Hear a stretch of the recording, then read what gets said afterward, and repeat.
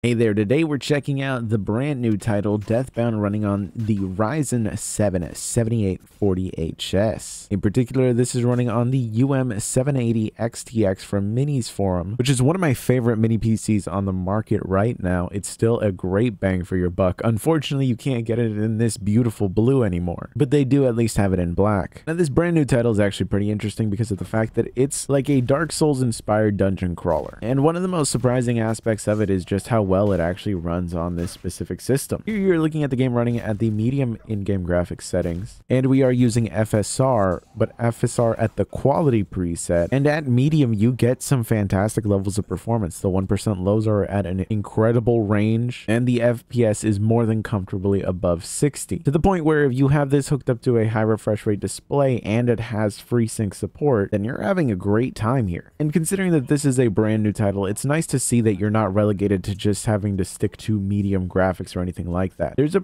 surprisingly decent amount of headroom in terms of performance here, and during the time that I was playing, I never once felt like I was being held back by the hardware. Though the display that I was gaming on had an FPS cap of 60, so I really couldn't take advantage of the above 60 FPS average that we were getting here. Still, it's a welcome sight considering how just how cheap you can get high refresh rate displays nowadays. That said though, if you are like me and you were just gaming at a 60 hertz display. What happens if we try to push the graphics just a little bit just to see if we can't get a little bit more visual flair? Thankfully, you can actually sacrifice some of that performance headroom for a little bit of extra visual flair by going with the high graphics setting. We're still in an above 60 FPS average and the 1% lows are still at a great range. So it's going to be playable in both scenarios. It really just depends on whether or not you have a high refresh rate display or not. Keep in mind though that at the high graphics settings, just depending on what you're going to be doing, there will be on some occasions that it will drop below 40. It's very rare as a lot of the aspects of this game game involve being in more confined spaces, but when things open up a bit, you will notice it in your performance. And for the best gaming experience, I really would recommend just sticking with medium. But if you're the kind of person that prefers visual quality over a higher FPS, going with the high graphics settings honestly does net you a nice little bump in the visuals. It might not be that noticeable on the YouTube video, but there's just an added clarity to everything. You could also just mess around with certain settings. Things like turning up the textures will greatly greatly improve the visuals without necessarily affecting performance if you have more than enough RAM. There's definitely room for experimentation here, but overall, it's a great result for a brand new title, especially since we didn't really have to get all that aggressive with our FSR settings. If you're someone that is completely against the concept of using FSR at all, you're able to actually just play without it at the medium graphics settings and still get a great result. It's a welcome sight to see considering that even though this is one of the most powerful APUs on the market right now, though not the most powerful anymore considering that the new series from AMD is finally out, that doesn't necessarily mean it's going to give you great results in brand new titles. If past generations of APUs have shown us anything, it's that just because it's a new product doesn't necessarily mean that new games will run on it. And that's certainly the case here. There's a lot of titles that won't run on here that are brand new, even titles from a couple of years ago that won't run well on here. But that's not really a blanket statement that you can make as made evident by this game. It's definitely been interesting to play, and I'm probably probably going to be sinking a little bit more time into it. But now I'm curious to see how it would run on some lower end hardware. So I'm going to be taking a look at that as well. But I hope you found this interesting. If you're interested in picking up a system with this specific chip, you can of course check out the links down below. Or if you're interested in this game, you can also check out the link down below. This game definitely gets my recommendation and it's perfect for people that are on mini PCs. So I'll catch you guys in the next one.